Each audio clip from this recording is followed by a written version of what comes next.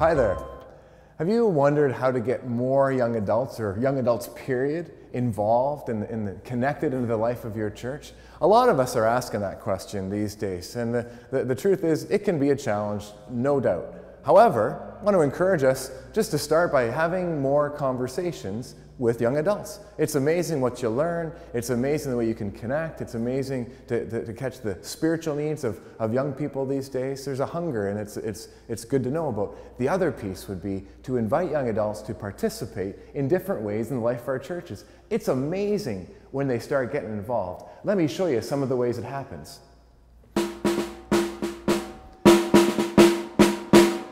So, drums, musical instruments, they're a great way for young adults to be involved in the church. Being a part of a welcome team is another great way for young adults to be involved. Greeting people, uh, handing out programs or bulletins, taking up the offering. Just a really simple way to, to meet new people and, and just get involved. So, how about reading scripture or being involved in, in leadership from the front?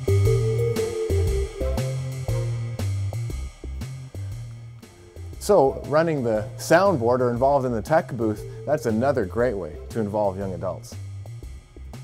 So what we're finding is two things. First is young people are saying, wow, no one ever asked me to be involved before. They're loving it. The second thing is when young people come to the church for the first time, they see other young people involved and they say, wow, maybe this is a place for me too.